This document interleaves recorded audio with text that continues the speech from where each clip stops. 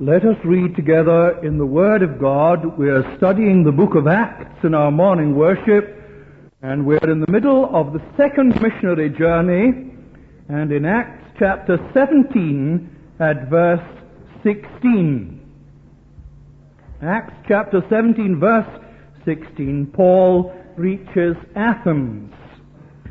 Now while Paul was waiting for them, Silas and Timothy, at Athens, his uh, spirit was provoked within him as he saw that the city was full of idols. And so he argued in the synagogue with the Jews and the devout persons, and in the marketplace every day with those who chanced to be there. Some also of the Epicurean and the Stoic philosophers met him, and uh, some said, um, What would this uh, babbler say? Actually, the Greek is nastier than that. The word babbler in Greek there is a gutter sparrow, uh, meaning a little sparrow that hops up and down the gutters picking up any piece of uh, chaff or corn or seed that happens to be blowing about in the wind. What would this gutter sparrow say? And others said, He seems to be a preacher of foreign divinities because he preached to them Jesus and the resurrection. Now, the point is, of course, that in Greek, Paul would have preached Jesus Kai Anastas, Jesus and the resurrection. But they thought that Anastas was the name of another God, not resurrection. And so they thought, well, here are two new gods that we can add to the gods we already have Jesus and Anastas. Uh, he seems to be a preacher of foreign divinities because he preached Jesus and Anastas. And they took hold of him and brought him to the Areopagus, Mars Hill, saying, May we know what this new teaching is which you present, for you bring some strange things to our ears. We wish to know, therefore, what these things mean. Now, all the Athenians and the foreigners who lived there spent their time in nothing except telling or hearing something new. So Paul, standing in the middle of the Areopagus, Mars Hill, said, Men of Athens,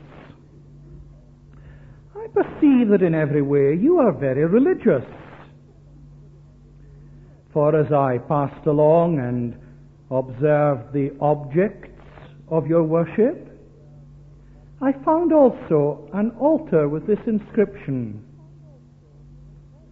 To an unknown God. What therefore you worship as unknown, this I proclaim to you. The God who made the world and everything in it, being Lord of heaven and earth, does not live in shrines made by man nor is he served by human hands as though he needed anything, since he himself gives to all men life and breath and everything. And he made from one every nation of men to live on all the face of the earth, having determined allotted periods and the boundaries of their habitation, that they should seek God in the hope that they might feel after him and find him. And yet he is not far from each one of us. For, and he's now quoting the Greek poets rather than the Old Testament, which these men would not recognize. And so, since they understand the Greek poets, he quotes now from a man called Epimenides. For in him we live and move and have our being. And even some of your poets have said, and he's quoting more Greek poets now, Aratus and Cleanthes. Um, for we are indeed his offspring. Being then God's offspring, we ought not to think that the deity is like gold or silver or stone, a representation by the art and imagination of man. The times of ignorance God overlooked.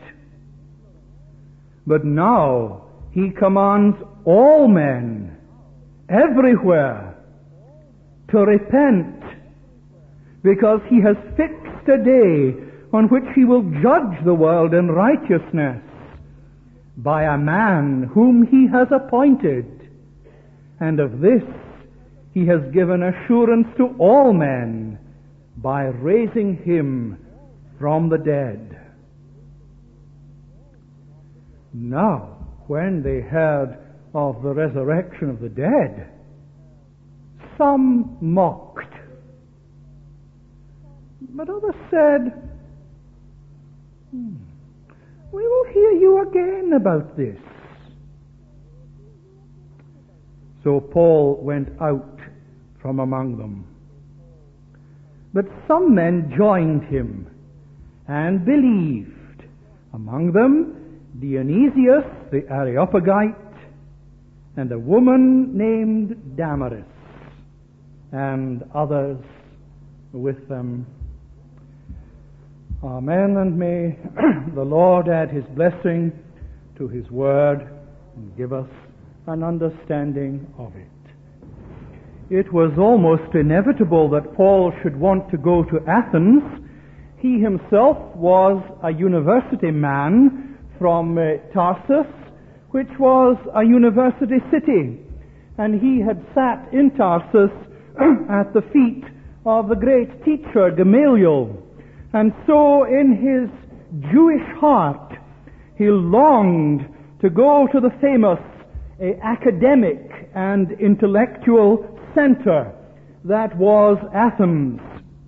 In much the same way in which we in this country might want to go to see the colleges in Oxford or in Cambridge, or in much the same way in which an American would want to go and see Harvard or Cornell universities. Athens was a magnet in the ancient world. Today we say all roads lead to Rome, but in that world all roads led to Athens. And all that was brilliant and clever and glorious uh, was here in Athens. And it is uh, an indisputable fact that uh, much of our own life and culture today have been determined by the glory that was Greece. Uh, for example, the word politics is a Greek word, as indeed are the words election and democratic. When you use these words, you are speaking Greek, because Greece was the home of what we understand by modern democracy. Democracy originated in the Greek city-states when men voted for candidates.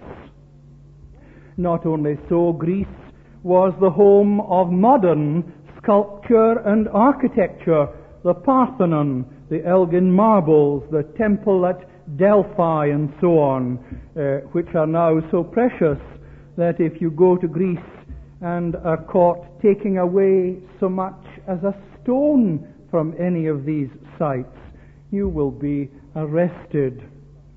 And it's interesting to see just what a powerful influence classical architecture has been throughout the years.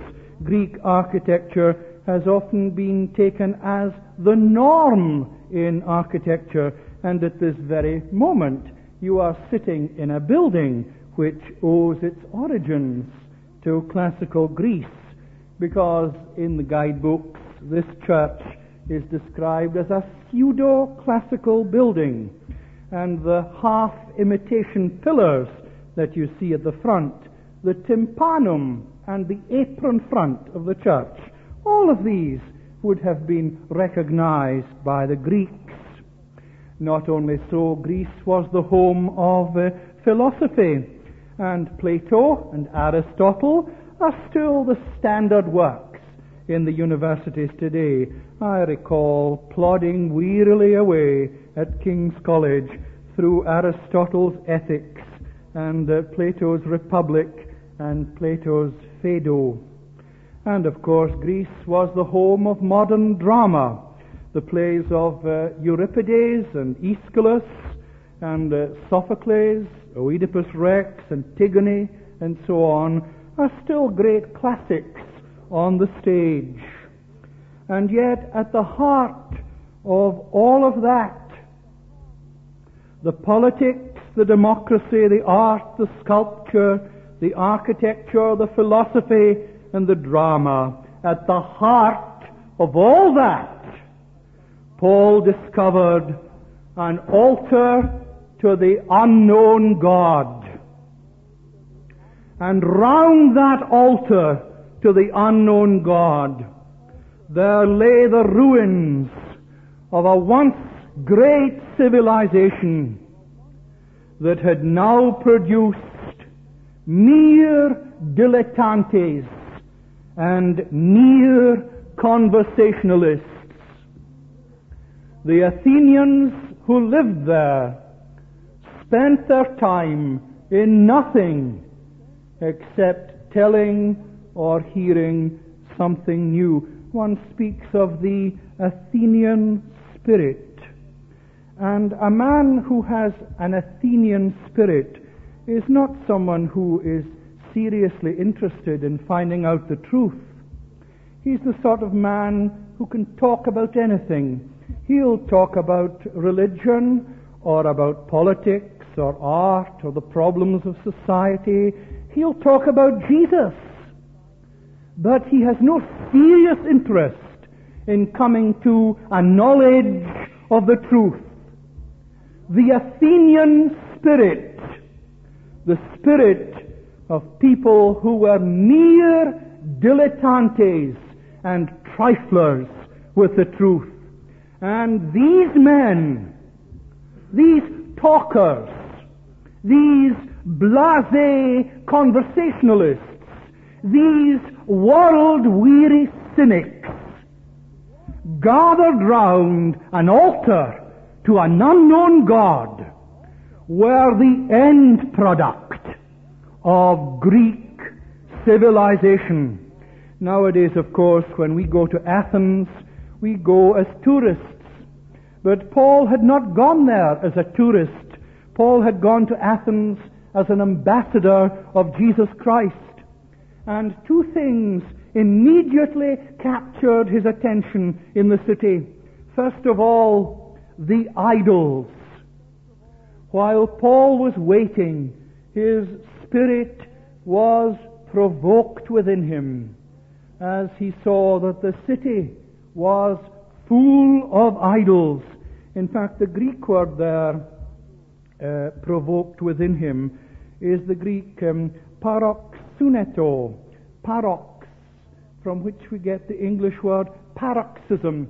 We would say nowadays, he nearly had a heart attack when he saw the idolatry of the city. He nearly had a seizure when he saw the idolatry. Now, of course, to us as tourists, these statues and temples uh, are objects of beauty. This is why men go to Athens. We look on them as works of art with artistic merit.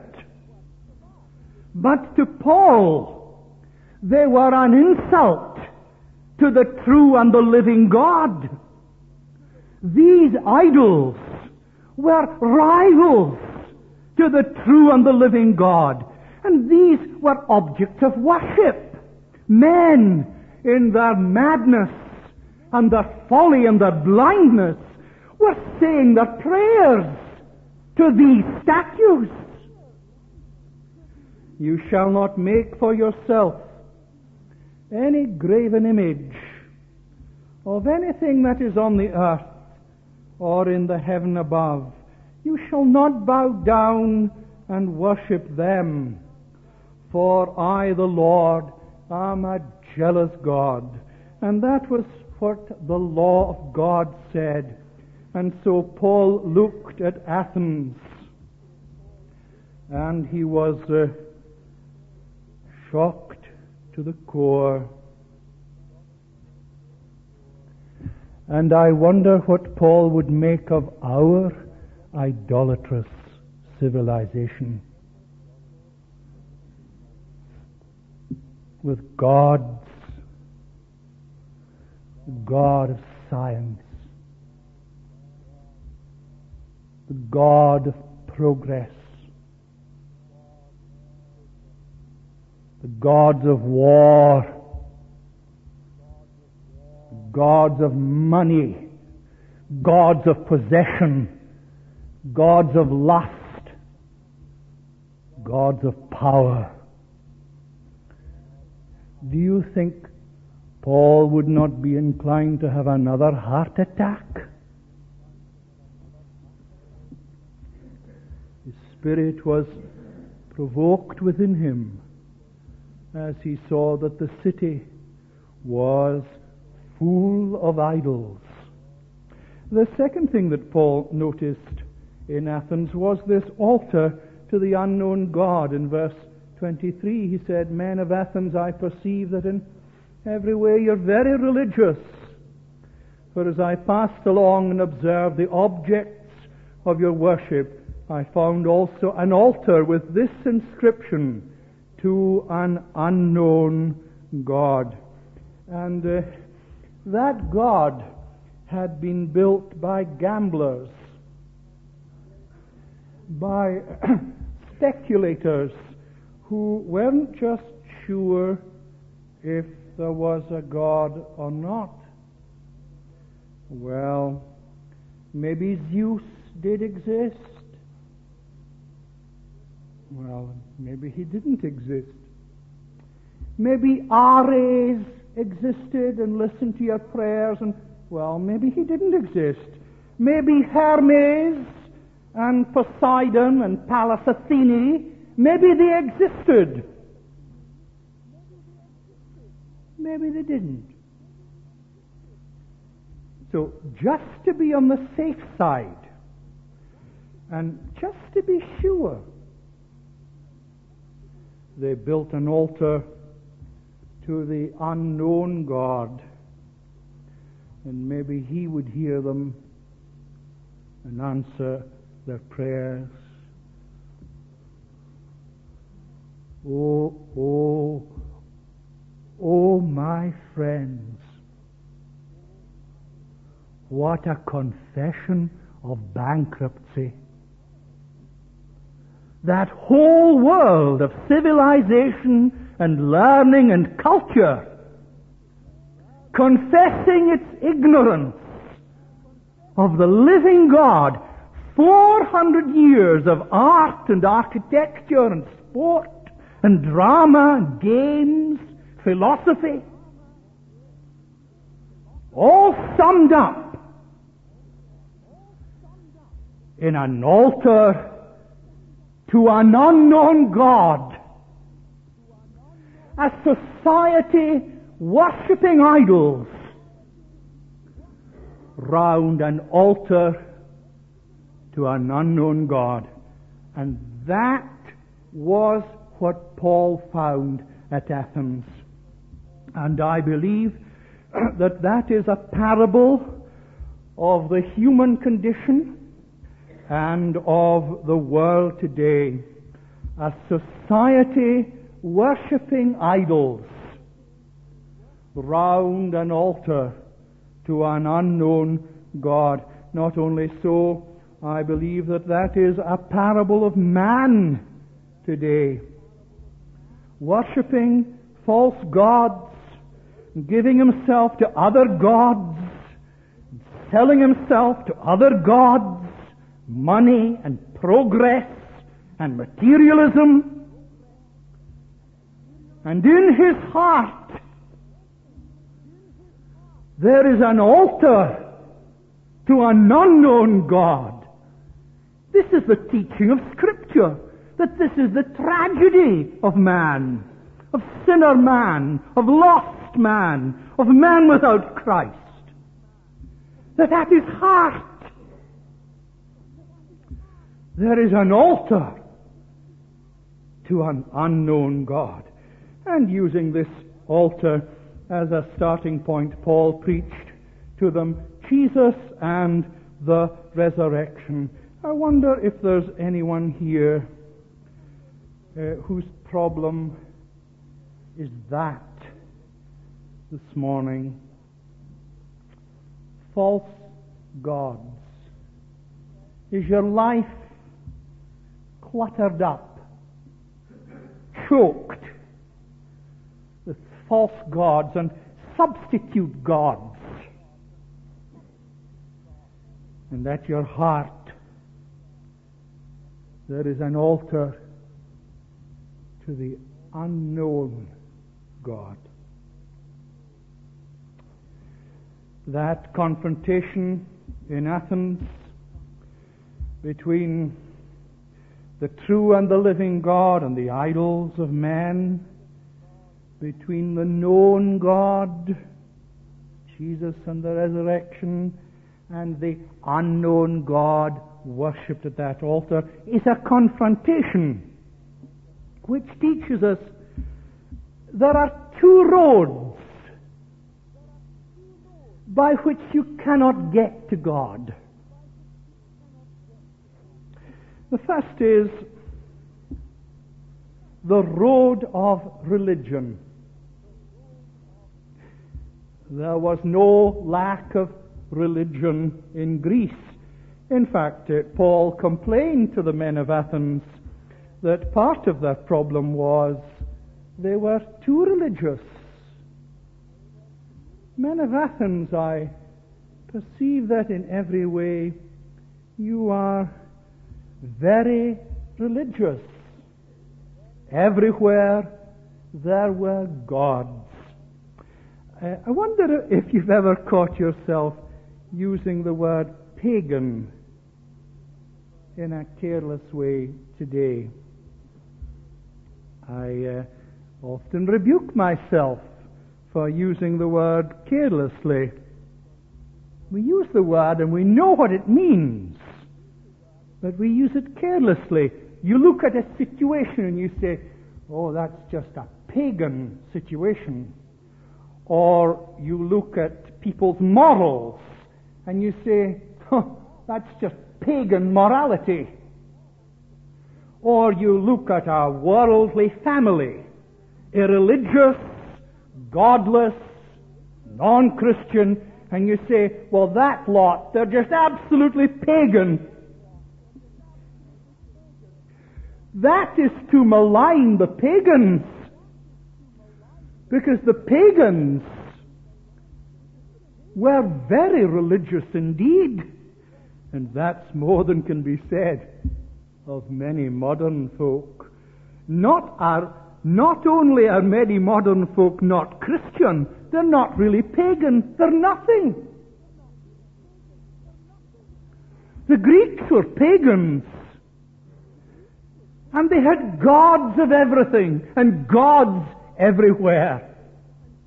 There were gods on the rooftop, gods in the garden, there were gods of fertility, gods of beauty. There was a god of the chase. There was a god for marriage. There were gods in the pantry. There were gods on the fireside. There was a god of the sea. There were gods of war. There were gods in the trees. There were gods in the rivers. There were gods in the flowers. There were gods everywhere. And all that religion did not bring them to God.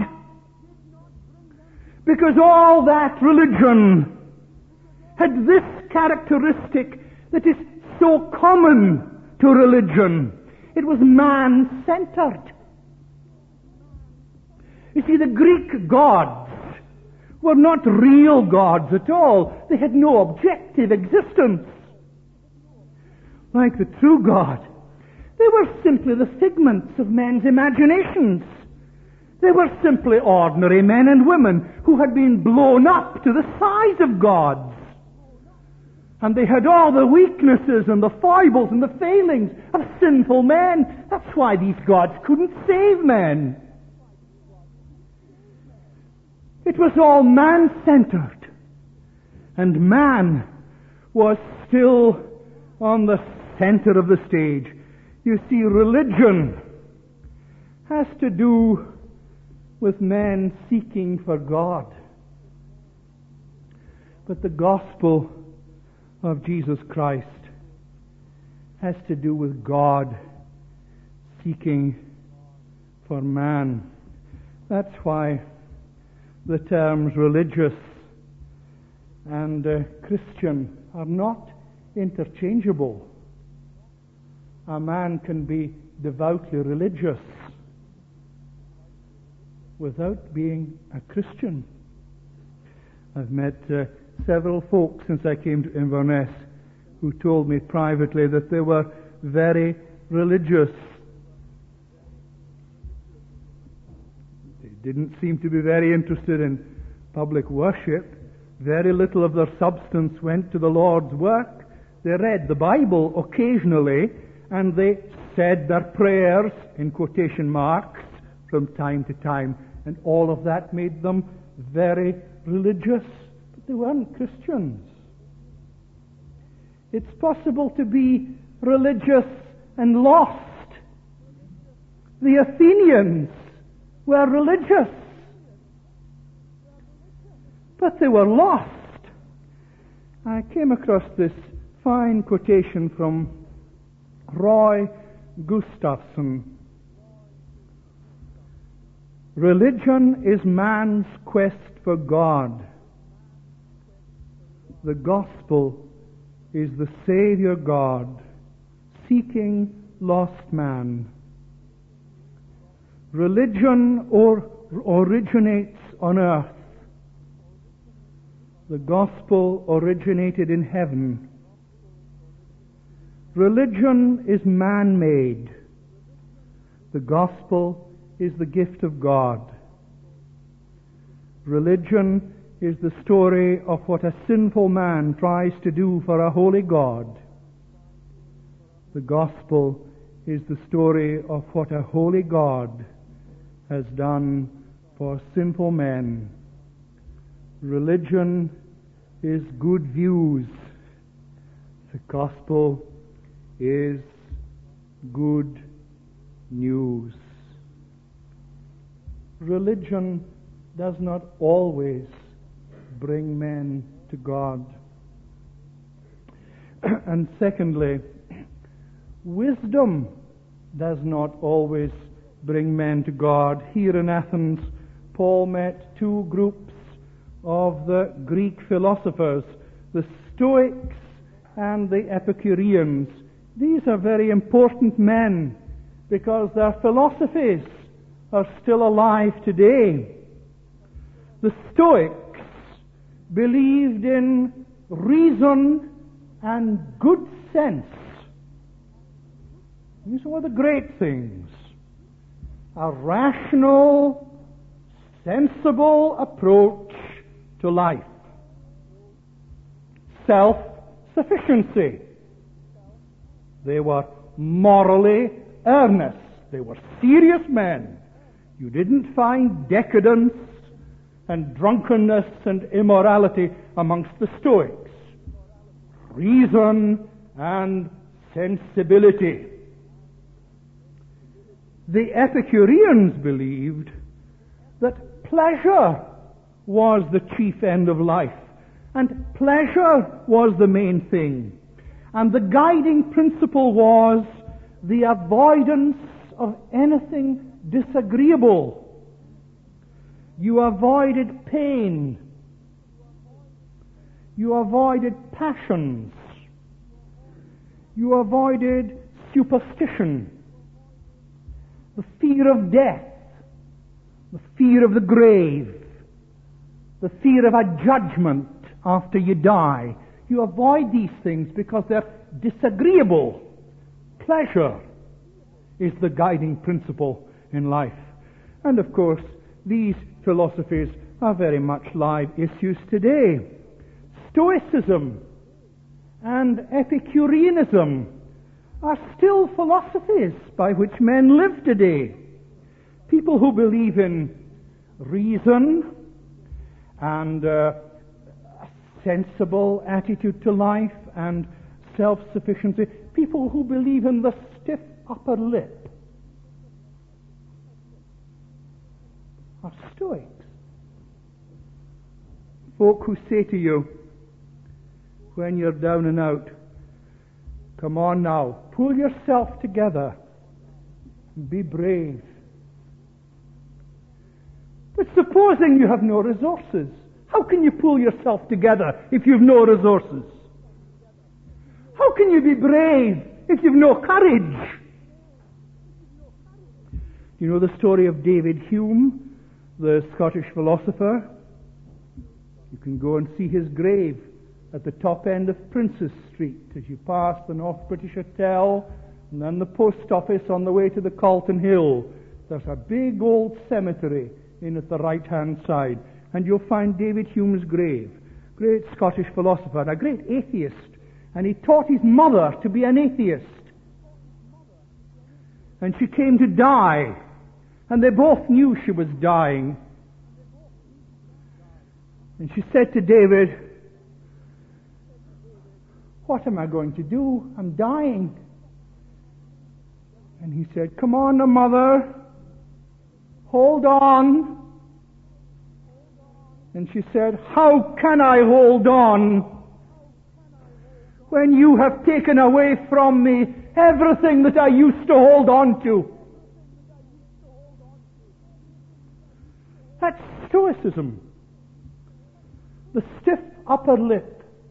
Be brave. And Epicureanism lives when men immerse themselves in pleasure and live lives dominated by the pleasure principle in which the chief end of man is to have fun and to be able to say at the end of the day that a good time was had by all. The chief end of man is to have fun and to say a good time was had by all. You see, wisdom does not automatically bring men to God. And at the heart of all that wisdom there was an altar to the unknown God. After he left Athens, Paul went to Corinth, and he later wrote uh, two letters to Corinth, and in one of them, this is what he said The world by wisdom knew not God That was God's verdict on Greece. The world by wisdom knew not God. You see, the answer to life's problems and the answer to pain and to sin and to death is not the stiff upper lip of the Stoics, and it's not the pleasure principle of the Epicureans. It is Jesus and the resurrection. I wonder if you've come to God's house today and your life is filled with wrong gods that cannot hear you and cannot help you and cannot save you. I wonder if you've come to God's house today with an altar to the unknown God at your heart. The men of Athens needed Jesus and the resurrection. not religion, not wisdom or philosophy, but Jesus and the resurrection. And inevitably, that kind of call demands a decision on your part. It's interesting to see the three ways in which the Athenians reacted to the gospel. Some of them mocked. When they heard of the resurrection of the dead, some mocked. And that's one way of uh, responding to the gospel message, to dismiss the whole thing as um, rather ridiculous and rather absurd. The Greeks thought it laughable that a man should rise from the dead, and that is one way of uh, reacting to Jesus Christ. You simply dismiss him as absurd and irrelevant. Is there anyone here who, in the secret of his heart or of her heart, really believes that Jesus Christ is absurd and irrelevant? Some of them said, We will hear you again about this. In other words, some other time. Not today. Decision tomorrow. Always decision tomorrow. I call these people the Jesus tomorrow people.